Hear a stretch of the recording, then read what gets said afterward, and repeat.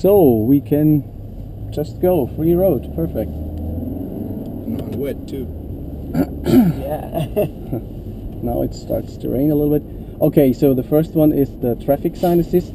You see the signs we put on on the right side, and Mm-hmm. the signs are showing up here in the display and also in the combi Mm-hmm. instrument cluster.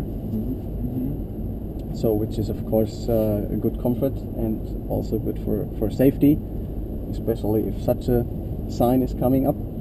And now we are approaching a pedestrian at 50 kilometers per hour. And uh,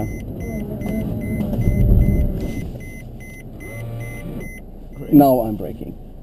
Okay, so So you didn't brake at all? no, so that is automatic collision avoidance for pedestrians up to 50 kilometers per hour. And as far as I know, this is uh, first first time.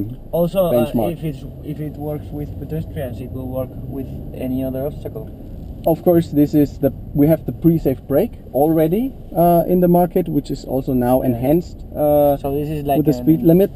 It's an assessment of the.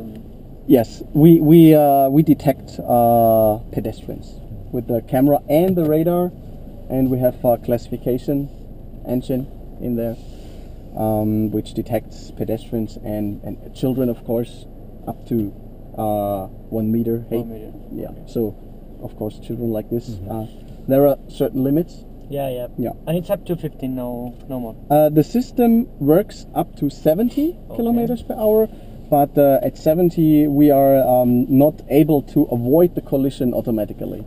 So we approach physical and, and, and situative limits at, at around 50 kilometers per hour.